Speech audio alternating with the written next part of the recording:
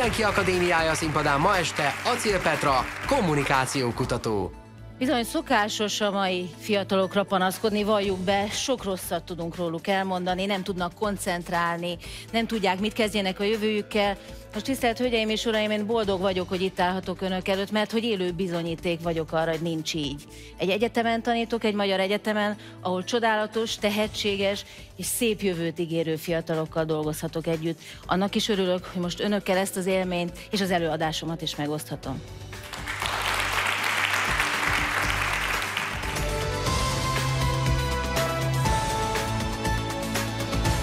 Sokan jósolják, hogy öt év múlva egy csomó foglalkozás el fog tűnni. Az én tudományágam azban tudja leginkább segíteni a fiatalokat, hogy megérteti velük, hogy mi az, ami mindenen túl és mindennel együtt az ember legfontosabb képessége.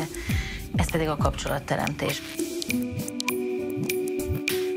Acél Petra retorika szakértő, nyelvész, kommunikációkutató, egyetemi tanár, a Corvinus Egyetem Magatartástudományi és Kommunikáció Elméleti Intézet igazgatója. A beszédtudomány egyik legnagyobb hazai alakja. Az én tudományágam, amely azzal foglalkozik, hogy hogyan kommunikáljunk, egészen születésünktől, a családunkon keresztül, a különböző iskoláinkon át, a munkahelyünkön és a közösségben, amiben élünk, ez egy olyan tudást ad a kezükbe, olyan képességet biztosít számukra, olyan alapot adnak a saját létezésüknek, amely segítheti őket. Kezdetben ő is csak azt tudta, mi érdekli, és csak később dölt el, hogy ez milyen foglalkozást vonz maga után. Igazság szerint azt hiszem, hogy ez akkor dölt el, amikor középiskolás koromban végül is elhatároztam, hogy nem orvos leszek. Nekem ez egy nagyon nagy döntés volt, hogy végeredményben mi az a két dimenzió, ami az embert emberé teszi, a teste és, és a tudata lelke. És akkor úgy döntöttem, hogy nem a testtel fogok foglalkozni, még hogyha ez egy kicsit talán primitívnek is tűnik, mint elhatárolás, hanem, hanem azzal, ami belül van, és így lettem bölcsész. Ma már nem divatos bölcsésznek lenni, de én hiszem, hogy ez az egyik legmegalapozóbb foglalkozás. Acél Petra az ELTE magyar nyelv és irodalom szakára járt. PHD fokozatát és habilitációját is itt, a nyelvtudományok területén szerezte. Nagy gyakorisággal, aki magyar szakos bölcsész lesz, nekem volt még mellette egy nyelvszakom is, de aki az lesz, azért lesz, mert szereti az irodalmat, és az első évben átvált a nyelvészetre. Tehát ott valami történik velünk, ez történt velem is, és aztán a szövegnyelvészet vitt el a, a retorika felé. Vannak, akik gyors mozgású halhoz, mások a női miniszoknyához hasonlítják. Egyesek azt mondják róla, hogy olyannak kell lennie, mint az egészségesen erezett emberi testnek, mindannyian a nyilvános beszédről szólnak. Arról a nyilvános beszédről, amelyről a legtöbben úgy gondoljuk, hogy úgyse lesz vele dolgunk. Nos, azért vagyok itt, mert azt sejtem, hogy de bizony lesz. És amikor eljön az a pillanat, azzal a pillanattal élni kellene, és jól kellene élni. Acél Petra a nyelvtudomány professzora lett, számtalan tanulmányt, értekezést és könyvet írt. Folyamatosan tart előadásokat. Munkáját többször is díjazták már, de számára mégsem ez jelenti az igazi sikert. A tanítványaimmal való együttlétet rendkívül inspiráló, nagyon, nagyon boldogító dolog. Én, én ezt egyfajta kegyelemnek is tekintem, mert ez az emberek nincs megígérve, hogy ez jól sikerül. E, olyan ösztönző fiatalokkal együtt lenni, és hogy nincs rossz fiatalság, nincs, nincs gyengébb generáció, mindegyik ugyanolyan szeretet, ismeret és, és jövőéhes, mint amilyenek mi voltunk és az elődeink voltak. Ez egyszerre nagyon nagy boldogság és nagyon nagy felelősség, de ilyen nagy érzelmekben dolgozni, az aztán igazán, igazán örömteli. Kutatási területe a modern retorika, a közéleti meggyőző kommunikáció és a médiaértés. Ma már semmi nincs kívül a médián. Ma már minden mediatizált, a hétköznapi élet is, hiszen az egyén maga mediatizálja, közvetíti a saját életét, a reggeliétől egészen a gyermekhez születésén át a haláláig. Az, aki ezeket a dinamikákat ismeri, sokkal többet tud sokszor, mint akár egy tételesen felmondható ismeret. Valami olyasmit ismer, ami alapján a dolgok működnek, vagy működhetnek. Számára a szakterületén belül a tanítás a legfontosabb. Ebben érzem igazán az örömöt és a sikerélményt, persze függetlenül attól, amikor az embernek könyve jelenik meg, vagy, vagy valamilyen díjat nyer, ezek is nagyon fontosak, de valahogy én mégiscsak abban hiszek, hogy valakinek a, a reményeiben élek igazán tovább, nem pedig a könyvlapjain. A színpadon Acél Petra kommunikációs szakértő, és témája a kreatív kommunikáció hét titka. Kérem, egy pillanatig se higgyék azt, hogy nem árt. Legalább olyan ártalmas, mint a vitamin hiány vagy a társtalanság. Bizony, a rossz beszéd kártékony. És az is igaz, hogyha feltenném azt a kérdést, hogy hallottak-e már rossz beszédet, akkor könnyedén azt mondanák, hogy hát persze, ültek már egyetemi előadáson, órán, iskolai órán, megbeszélésen a munkahelyükön, esetleg hallgattak különböző tudósokat mindenféléről előadni, és arra gondoltak, hogy vajon elég érdekes, ez nem unom én, ezt nagyon nincs az agyam helyén valamiféle rágógumi. A nyilvános beszéd képessége nem születik velünk, azt tanuljuk. Mint ahogy azt is meg kéne tanulnunk, hogy hogy kerüljük el a fő hibákat. Azért vagyok most itt, hogy meghívjam önöket egy utazásra. Először beszélgessünk arról, hogy mitől rossz egy beszéd, a tudósok és a kutatók szerint, és aztán adjunk valami választ, hogy hogyan lehetne jobb, és nevezzük ezt a beszédet ezúttal el kreatív kommunikációnak. Azt mondtam ugye, hogy sokan különbözőképp nevezik a nyilvános beszédet. Winston Churchill mondta róla, hogy olyan, mint egy női miniszoknya, eleget takar ahhoz, hogy titokzatos legyen, de azért keveset ahhoz, hogy izgalmas is maradjon. Nos, ehhez igyekszem tartani magam, vágjunk bele és nézzük meg, hogy mi a nyilvános kommunikáció hét fő bűne. Mindegyiknek lesz egy ilyen kulcsszava, az első legyen a homokóra. Tisztelt Hölgyeim és Uraim, az idő. Az idő, amivel nagyon sokszor a beszélő úgy bánik, mintha a sajátja lenne, mintha az ura lenne annak az időnek. Tudják, megkaparintotta azt a pici időt meg a helyet, és azzal, ha lehet, visszaél. Tudjuk, hogy az időkezelés a másik felé egyfajta hatalmat is sugal. Vagyis ha én elhúzom az időt, és addig beszélek, amíg szeretnék, azzal azt mondom, azt érzékeltetem önökkel, hogy azt teszek, azzal, akihez beszélek, amit szeretnék. Gondoljanak a tehetségkutató műsorok eredmény hirdetésében arra a megfeszített időre, amíg a szerencsétlen színpadon álló versenyzőnek azon kell izgulni, hogy megtudhassa, hogy tovább jutott-e. Abban a pillanatban maga a hatalom mutatkozik meg, hogy aki akarja, megmondja, de amíg nem akarja, nem mondja meg. Vagyis az idő rendkívül érdekes kérdés. 18 perces egy ideális nyilvános beszéd. Sokat változott a történelem során, de bizony nem több, mint 18 perc ma már, volt ez négy óra is, elszoktunk már tőle, volt rá 2500 évünk, és ez körülbelül 2000 magyar szót jelent. Tudják, milyen sok? Mégis nagyon sok előadó úgy érzi, hogy ez kevés, és minimum követeli magának a 90 vagy 120 percet. Vagyis az idő bizony nagyon nagy bűn tud lenni. A második ilyen főbűn az a fekete lyuk. Vagyis az a típusú előadás, amelyben egy pillanatig sem érezzük, hogy volt valami vezérfonal, valami magötlet, maggondolat, aminek mentén haladunk. Úgy veszünk el a beszédben, a szövegben, az előadásban, mintha az valóban valami nagy feketesség lenne. Gondoljanak bele, mennyivel egyszerűbb lenne dolgokról nem beszélni, hanem írni. Az én mostani előadásomat önök körülbelül 9 perc alatt elolvasnák. Miért mondom el? Miért nem olvashatják helyette, e, adott esetben miért nem tettem ki a Facebookra, vagy miért nem SMS-eztem le. Azért, hogy ehelyett a fekete lyuk helyett, ehelyett a nagy mélység helyett valami más nyújtsak, legalábbis igyekezzek. A harmadik főbűn, amit úgy nevezünk, hogy jó magam és én amikor a nyilvános beszélő tulajdonképpen tökéletesen el van saját magával. Szerintem ismerik ezt a típust. Magából indul ki, magához beszél. Ő is a papírja, ő is a jegyzetei, ő is a pulpitusa, ő is az ő ideje. A kiinduló pontjai nem csak a mondásban, hanem a felkészülésben is csak saját magát sejtetik. Ez a típusú beszélő önöket, a hallgatóságot itt és a készülékek előtt nem partnernek tartja, hanem tárgynak, akin végig kell menni, mint egy vírusnak. Aki csak azért van ott, mert mondjuk humán díszlet. ez a típusú előadó nem hiszi, hogy kaphat valamit a hallgatóságától, hanem arra gondol, hogy amit elmondok, az úgy fog hatni, ahogy én elterveztem. A következő ilyen főbűn, a negyedik, az enciklopédia kulcs szót kapja. Már Cicero, de később Szent Ágoston és a keresztény tanításról negyedik könyvében azt írja, hogy van az a típusú beszélő, aki ha egyszer választott egy témát, arról mindent elmond. Aki bújt, aki nem magával hozza az enciklopédiát, és azt elő is adja, ugye ez szoros összefüggésben áll azzal, hogy az idejét is így használja ki. A világért nem hagynak ki valamit, ne talán nem lenne elég pontos. Cicero ezt úgy nevezte, hogy ő a hanyag gondos.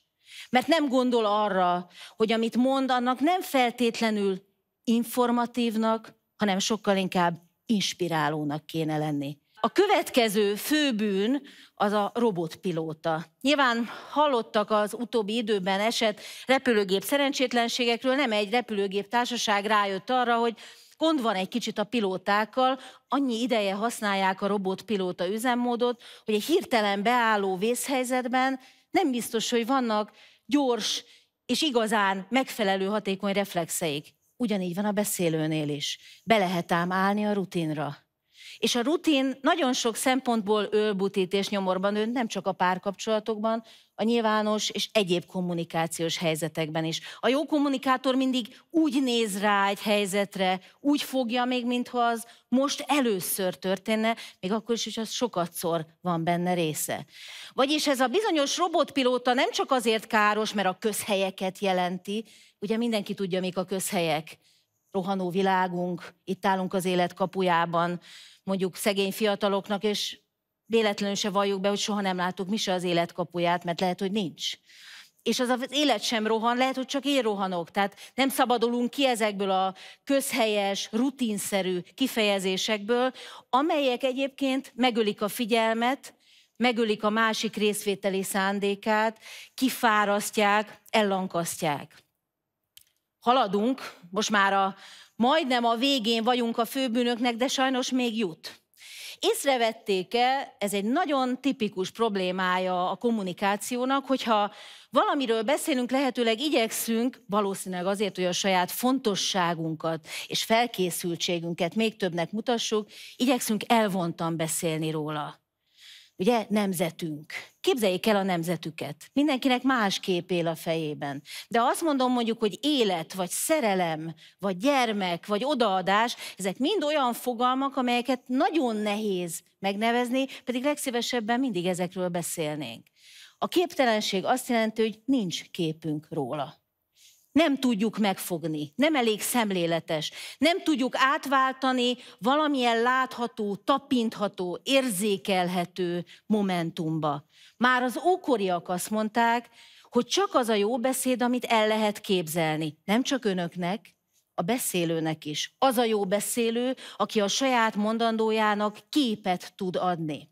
És a hetedik főbűn, amikor az egész beszéd helyzetet úgy kezeljük, hogy tulajdonképpen nem az elején kezdődik, és nem a végén végződik. Ismerik azt az előadót, aki úgy kezdi az előadását, hogy mielőtt elkezdeném az előadásomat, még elmondanám azt. És mielőtt elmondanám azt, még elmondom azt.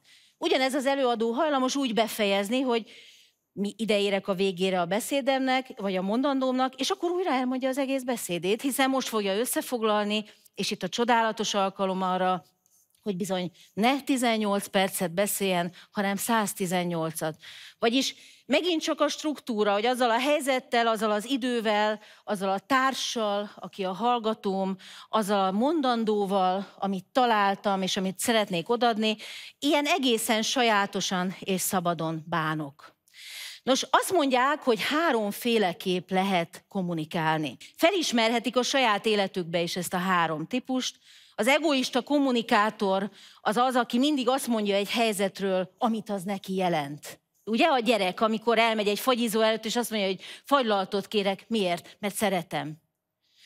Ez aztán ideális esetben elmúlik ez a korszakunk, nem mindenkinél sajnos ki kell ábrándítanom a, a hallgatóságot, van akinél ez megmarad, de a második szakasz, amikor elérünk abba a társas érettségi helyzetbe, hogy valamiről úgy beszélünk, ahogy az a társadalmi normák által megkívántatik. Tehát úgy is nevezzük ezt, hogy konvencionálisan. Ezt nem szabad mondani, úgy nem szabad viselkedni. Vagyis például, hogyha a környezetünkben valaki dohányzik, akkor nem azt mondjuk neki, hogy azonnal nyomja el, mert zavar, hanem azt mondjuk neki, hogy azonnal nyomja el, mert nem szabad dohányozni.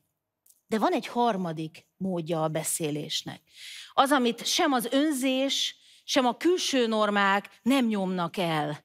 És ezt nevezzük retorikus vagy kreatív beszélésnek, de ez bizony nagyon komoly figyelmet igényel. Ez nem meglévő szabályokból indul ki, és nem támaszkodik arra, amit már mások megmondtak.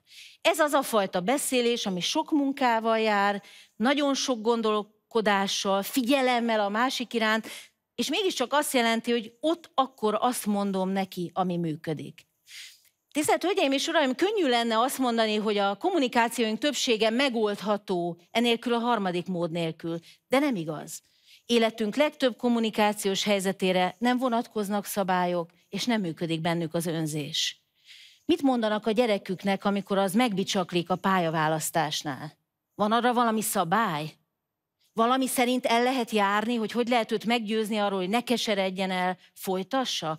Mit mondanak egy romló párkapcsolatban a társuknak? Van arra valami követhető minta? Biztos nem a szomszédé lesz az, az önökben van, és abban a kommunikációban, amit én most ezúttal kreatív kommunikációnak nevezek, és azt állítom, hogy a kreatív kommunikáció ez egy olyan teremtő gondolkodásmód, nem beszéd, nem mozgás, nem viselkedés, nem írható le öltözékkel, nem írható le testalkattal, inkább egy mentalitásra, egy olyan mentalitás, amely szeretne valamit teremteni. Például ebből a pillanatból valami más, mint ami lehetett volna. Például egy eseményből olyat, ami után már nem lehet arra a témára ugyanúgy gondolni. Vagyis a kreatív kommunikáció egyrészt megteremti a maga hallgatóját, aki figyelni kezd. Tudják, mekkora gond ma a figyelem? Hogy 2015-ös, 14-es kutatások azt mutatják, hogy az emberi lény fókusza gyakorlatilag rövidebb már, mint az aranyhalé. Hogy egy felnőtt ember egy tartalmas szövegre valószínűleg, vagy egy eseményre kevesebb ideig tud odafigyelni, mint 6 perc, ebben a mezőben kell dolgoznunk, és megtalálnunk a hallgatóban azt a belső motivációt, amitől figyelni van kedve, amitől odadja magát a helyzetnek, vagyis a kreatív kommunikáció hallgatót teremt, megteremt egy olyan sajátot helyzetet, ezt már egyébként a klasszikus görögök mondták, ami csak akkor is ott érvényes.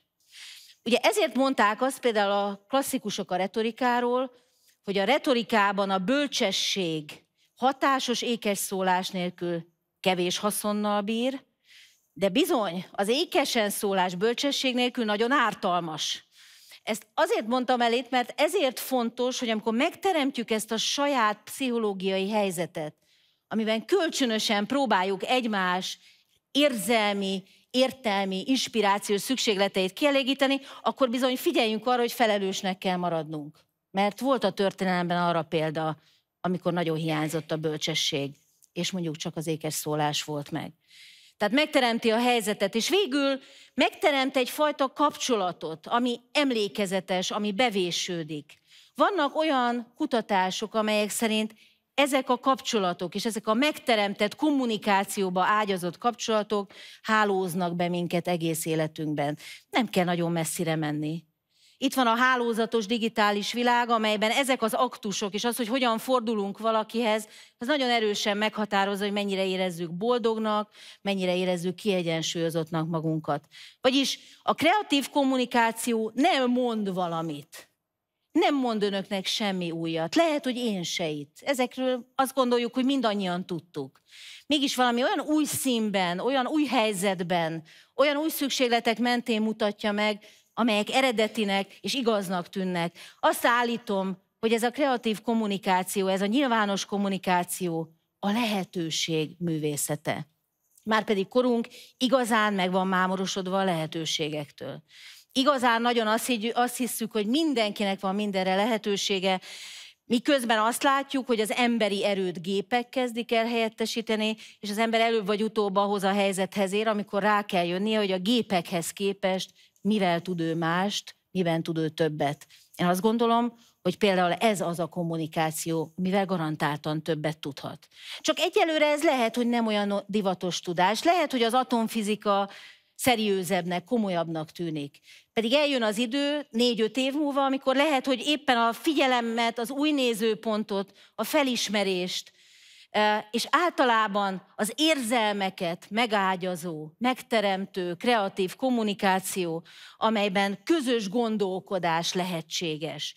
Annak a lehetősége, hogy ön talán arra gondol, amit én mondani szeretnék, vagy kikövetkezteti a következő lépést. Szóval, hogy ez mind megtörténhet. Mert azt gondoljuk, és ez azért nagyon sok kutatás támasztja alá, hogyha ez megtörténik, akkor az emberek képesek közösen cselekedni. Tovább megyek, jót cselekedni. Tudom, hogy ez olyan furcsa hangzik, nem divatos egy, egy kutató szájából csak én egyszerűen azt mondani, hogy jót cselekedni, de van még ilyen.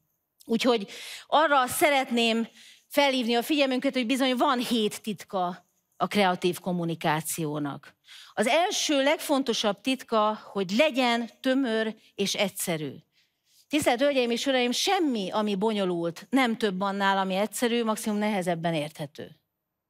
Vagyis aki rákényszeríti magát, hogy a gondolatai legmélyét megtalálja, az bizony eljut addig a felismerésig, hogy a tömörségben erő van. Tudták ezt már a rómaiak is, tudjuk ma is, még akkor is, ha be kell önöknek valljam, egyetemi óráim legnehezebbike, amikor ezt kell megtanítanom a diákjaimnak. Hogy egy egyszerű állításból egy még egyszerűbbet hozzanak létre, és abból egy még egyszerűbbet. Az óra végén mindig azt mondják, hogy jó volt, de elég volt, többet ne próbáljuk. Ugye? Tehát az információs zaj egy kicsit megkínálja őket azzal, hogy ne legyen egyszerű. A következő az ötlet. Legyen valamilyen ötlet, ami elviszi. Legyen az egy idézet, legyen az valaki mástól kölcsönvet, legyen az egy virális, vírusosan terjedő ötlet. Gondoljanak bele, hogy hány butaság terjed igazságként a világban. Ugye, hogy az ember például az agyának csak a 10%-át használja. Megnyugtatok mindenkit, ha ez így lenne, akkor nyugodtan vágják le a maradék 90-et, és járjanak a nélkül. Nincs így. Ez egy olyan jól működő nem igazság. Miért nem tudunk az igazságunknak is ilyen erőt, miért nem tudunk a fontos dolgoknak is ilyen hatóerőt biztosítani? Aztán a harmadik titok a történet. Tudják, amikor ennek az előadásnak az el, a megtartására érkeztem ide, akkor a buszon egyszer csak megszólított egy fiú és innen kéne folytatnom egy történetet, nem fogom. De a történeteknek olyan mágikus ereje van. Már a bevezetőjükben úgy érezzük, mintha beavatnának minket valahová, és higgyék el, kérem, mindannyiunknak vannak jó történetei, be kell őket vallani, fel kell a felszínre hozni, beszélni kell róluk másokkal. A következő, a negyedik, legyen annak, amit mondanak, valamilyen struktúrája. A klasszikusok úgy képzelték, hogy egy jó beszéd épület nem papír, épület, amelyben járni lehet. Térben képzelték el, és nem időben. És ez a térbeliség, ez azt jelenti, hogy le kell tenni valahova a gerendákat. Fónagy magyar kutató, stiliszta mondta, hogy bizony az embernek a struktúra, a felépítés örömet okoz. Ha valami rendezett, azt élvezzük. Ebből nagyon sok minden egyéb is ered. Az ötödik titok, hogy egy kicsit legyünk váratlanok. Bizony néha ne az jöjjön, amire a hallgatóság felkészült, ne tökéletesen azt kapjuk, amit egyébként elvártunk volna. Ha azt vártuk volna tőle, hogy azzal kezdjük, akkor kezdjük egy kicsit mással, ne nagyon. Ugye erre mondjuk az, hogyha nagy a diszonancia között, amit vártunk és amit kapunk, akkor megijedünk és elkezdjük menteni vagy magunkat, vagy a helyzetet, de biztos, hogy nem az előadót. Vagyis próbáljuk meg megtalálni azt a pontot, amikor a figyelem ott az önök agy közepében, az a motivációs központ, a ventrális triátum egy picit életre kelthető. Az a váratlan, új helyzetet ígérő fogás. A hatodik a szemléletesség, kérem keressenek képeket, ha nem is olyat pontosan, amilyet én mondtam. Keressék meg a képeket az életükre, egy nemzeti ünnepre, egy családi vacsorára, a legfontosabb dologra az életükbe, találjanak valamit, ami képszerű, ami fogható, ami konkrét. És végül talán a legfontosabb, legyenek hitelesek. Kurt Tuholsky, neves német szatirista, újságíró mondta, 1930-ban egy álnéven publikált cikkében, hogy az ember, amikor beszél, mesztelenebb, mint napfürdőzés közben. Nem lehet letagadni a valónkat, amikor beszélünk. Aki ezt megpróbálja, belebukik. Tudták ezt 2500 évvel ezelőtt, amikor azt mondták, hogy a beszéd legfontosabb értéke az étosz, az ember szavaiban megmutatkozó jelleme. Legvégül plusz egy, ez a visszaélés a figyelmükkel. Meg kell érteni, hogy a kreatív kommunikáció mindig kockázat. Senki nem ígéri biztosra a sikert. Az sem, aki miniszoknyához hasonlítja, az sem, aki gyorsmozdulású halhoz, senki. Bizony benne van az, hogy nem sikerül.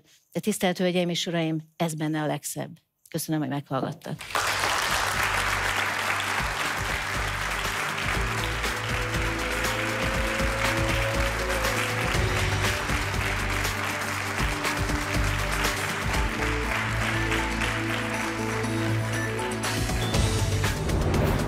Mindenki Akadémiája ön előtt is nyitva áll. Várjuk előadók és nézők jelentkezését is.